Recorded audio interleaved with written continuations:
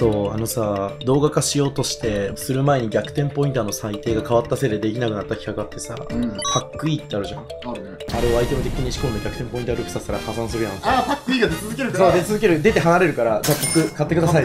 うちの店の前でそれやってさ、大量にパック。え、最強だったじゃん。全部はけるじゃん。そうなんよ。ゴゴミパック全部するから、最高の企画だと思ってたら、裁定変わっちゃった。はい、ということで、えー先日ですね、ホロライブ TCG というのが発売されたんですけど、まあ、うちの店でもちょっとだけ取り扱い始めたんですが、僕実はホロライブ TCG まだやったことがなくて、あ、そうなんだ。やった？あえ、やってる？やってるやってるうんっ。ていうのを聞いたんで、ちょっと今回は、ムッタさんに今のホロライブ TCG のちょっと状況というか、あー、はいはいはい。まあ、指標だったり、あとまあ環境もちょっと知りたい。ということで、ちょっと教えていただければなと思います。はい、わかりました。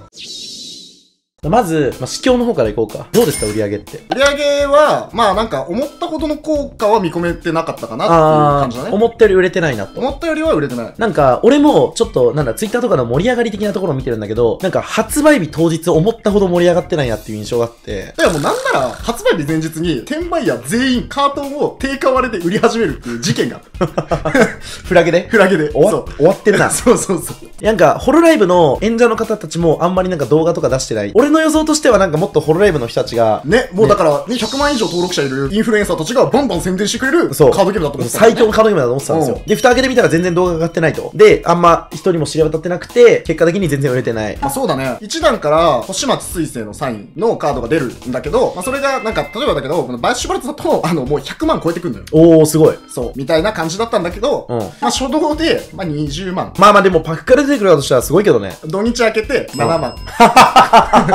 ロストリストール。マジかよ。いや、これ買い取りの話だけどね。実際はまあ販売はまあ10万。まあ10万ぐらいかいかないぐらいかな、かなり厳しいですね。うんはいはいはい。で、まあ、他の、なんだ、シングルカードとかはどうなの？その、環境で使うカード。そう。封入率が、なんか結構思ってたのと違くて、光ってるやつとかも、もう全部結構まんべんなく出る。あー光ってるやつと光ってるやつがまんべんなく出る。そう。おで、絞られてるところがうん、カートンからリーダーカードみたいな、んワンピースでいうリーダーカードみたいなのが、推しホロメンカードっていうのであるんだけど、なるほど。ゲームに1枚しか使わないやつのパラレルみたいなやつが、まあ2、3カートンに1枚出ますよ。ああ、なるほど。普通のその、シークレットじゃない方はまあまあ出るの？まあ全然普通に出る。ああ、それ出るんだ。うんはいはいボックス1とかなんかそういう。え、じゃあゲームを始める分にはあんまり支障はない？あ、そうだからもう本当に、ピカピカのやつ以外だったら、うん一番高くて2000円とか。おー、なるほどね。え、そノーマルカードでさ、値段がやたら高いみたいなのはないの？ノーマルカードでやたら高いのは、ポケモンでいうネストボールが普通のパソコンっていうのがあるんだけど、うんそれはもう1600円とか。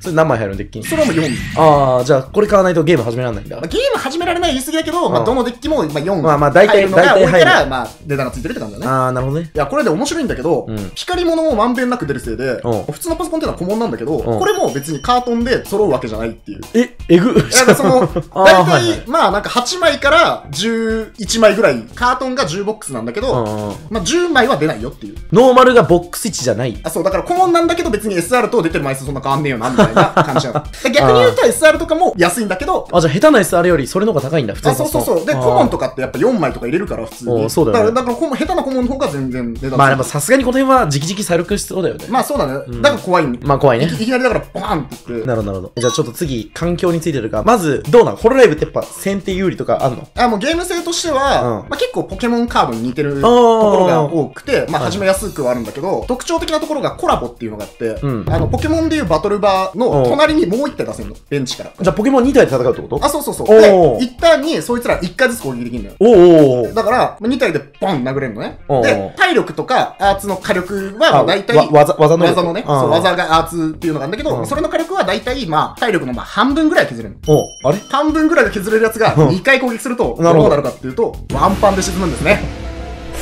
おーなるほど。え、ってことは何？ど、どっちが有利なの？先に攻撃を仕掛けられるのは、うんまあ一応後手からなんだけど、うんワンパンで沈め始めるのが、進化ポケモンみたいなのがあって、あーの、デビュー、ファーストブルーム、セカンドブルームっていう。で、そのファーストブルームになってからが、そのワンパンで沈めるラインになってくるから、まあ先に進化できるのは先行なんで、なるほど。先行1体目はじゃあデビューしかできないから、まあこれは殴れなくそてう、で、後手はデビューでパンチするんだけど、うんこれもなんか10点とか30点、あーはいはいはい当たり前に死なない。で、先手2体目に、先手2ターン目にファーストブルームになります。はい、で、ファーストブルームになった。はい、50点、50点。で、100点、相手100点だから、爆発。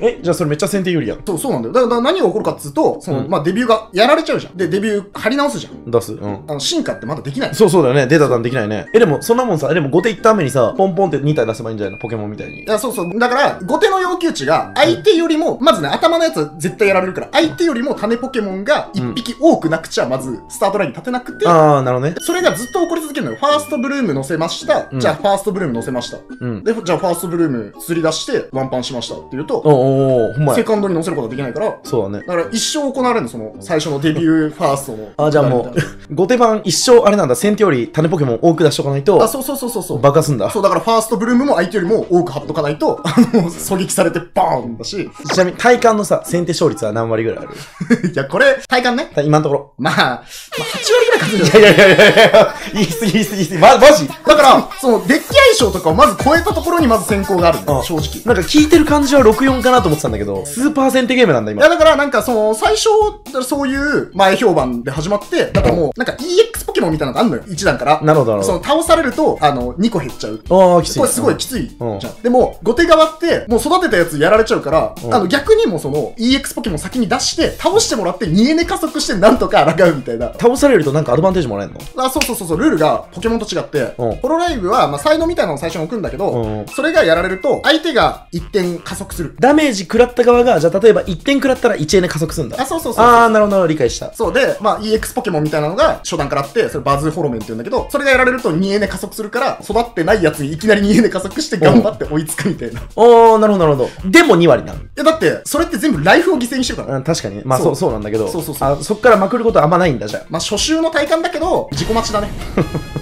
まあそうだよね。そのさっき言ったように、先手って結局コラボ2体で殴るって言ってるから、まあ2体ね、その進化しないといけないわけで、まあちょっと要求値はあると思うけどね。まあ、一番環境トップって言われてるのが、あの、プロミスっていう、ホロライブ EN のキャラクターとはいはいホロメンたちのデッキなんだけど、それは進化時効果、ブルームエフェクトっていうので、デビューホロメンか、ファーストブルームを連れてこれる。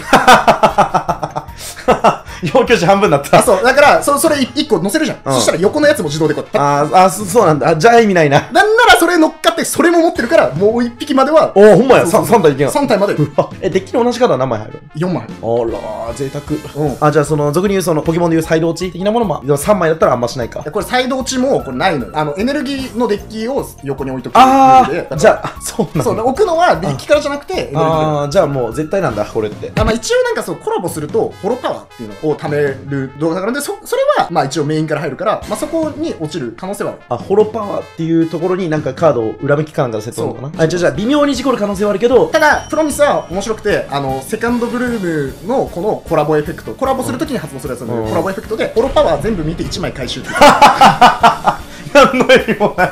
だから、結構かなり自己率が低くてうん、そのプロミスっていうのはめっちゃ強い。あー、すごいね。そうあ、それはちょっと8人も納得かもしれない。そうそうそうあら、それはすごいな。え、ちなみにどうですか？なんか今後明るい未来ありそうですか？今のところ。まあ、先手有利な状況が、うんまあまあその、バズで返す戦法とかがちょっとずつ生まれつつあるから、まあもしかしたら8-2から結構動いてくるんだったら、まああるかもしれない。あーじゃあもしかしたら64ぐらいまでにはなるかもしれない。かもしれない。おー、なるほど。結構それはまあ面白いですね。まあ64ならね、いろんなカードゲームそうなんで。まあ全然64はまあ普通っちゃ普通だから。まあまあ。はい。ということで、えー現在のホロライブの試況でした。ぜひ皆さんも忌憚なき意見をコメント欄に書いてください。まあ、うちもとりあえずあの、引き続きホロライブやっていきますので、あの、続報がね、出たらまたその都度動画にしていきます。まあね、従業員がホロライブ好きな子多いから。ああ、そうなんだ。そう、全然、萌えーって言いながら。というわけで、今回の動画は以上です。ご視聴ありがとうございました。